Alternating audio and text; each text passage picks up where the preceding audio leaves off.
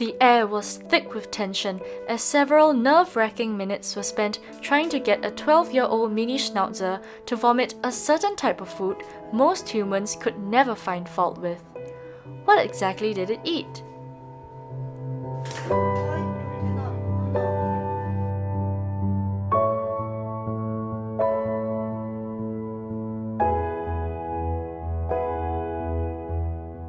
As humans, we might think it is a waste to throw up our favorite piece of chocolate, but to a dog, eating chocolate can carry deadly consequences.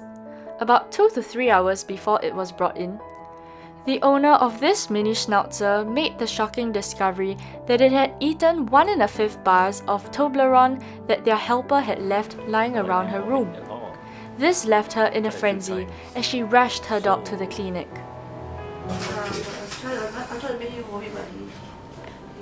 Now we have salt or not? We have salt there, one, one, one bottle of salt. Salt. What's up? Then, okay, we just take the history first. Huh? Okay, ready? Uh, Major Schnauzer, male, neutered, 12 years old. Sit, come.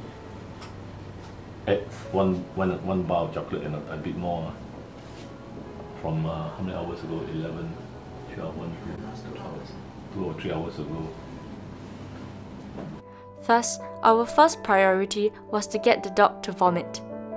Salt was first used as a method of doing so. And salt is the natural one. The cooking one. I don't know whether it's called sea or not. No, normally it's not so easy to give. Okay, open the mouth. Put behind the tongue. Far back. Open. Open big.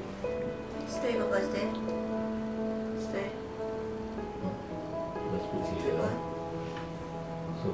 They feel more seated. Okay, closer. Okay, then move it. Then normally I give a bit of water. Wait.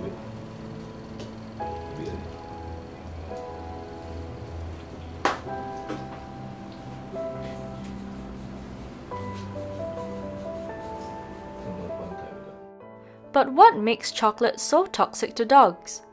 Chocolates that contain cocoa contain the chemical theobromine, a plant alkaloid. It is a stimulant that, when consumed in excessive dosages, can poison, even in humans. However, theobromine is certainly more threatening to dogs than humans, according to LD50 values. LD50 is an oral toxicity measurement that measures the theobromine dosage that will kill 50% of a given population. In dogs, this is 300 milligrams per kilogram versus the human LD50 value of 1000 milligram per kilogram. The problem lies in a dog's inability to metabolize theobromine as quickly as humans. While the effects of eating chocolate can last 20 to 40 minutes in humans, half the amount of theobromine a dog consumes remains in their system even after 17 hours. This makes theobromine dangerous in far lower dosages in dogs. To put things in perspective, the seriousness of chocolate poisoning hinges on two main factors the weight of the dog and the type of chocolate eaten. The greater the mass of the dog, the less risk is involved. The toxicity of chocolate increases in the order of white to milk to dark or baker's chocolate, which follows the increasing amounts of cocoa and therefore theobromine they contain. Other factors, such as the age and health of the dog, should also be considered. Hence, chocolate poisoning is assessed on a case by case basis, as not all of them might pose a great threat. That is not to say, however, that any amount of chocolate to give to your dog is okay. To gauge the toxicity risk of chocolate in your dog, chocolate toxicity meters are available all over the internet for our use. The specific notable side effects of toxic levels of theobromine in dogs include a whole long list of symptoms, such as diarrhea, vomiting, increased urination, muscle twitching, excessive panting, hyperactive behavior, dehydration, digestive problems, seizures, and rapid heart rate. Some of these symptoms, like the rapid heart rate, can ultimately be fatal to a dog. After several unsuccessful attempts to get the dog to vomit using salt, an injection of xylazine was used.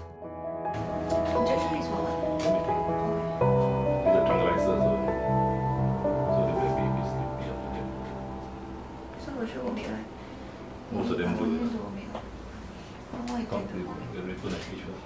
How long it take to vomit? Maybe five, ten minutes. Uh, put a cage first. so you wait a while first. It did not take long after the injection for the dog to puke an unsightly mess of half melted milk chocolate. It was certainly a moment of relief for the owner, who was on the brink of tears in the waiting room with her family.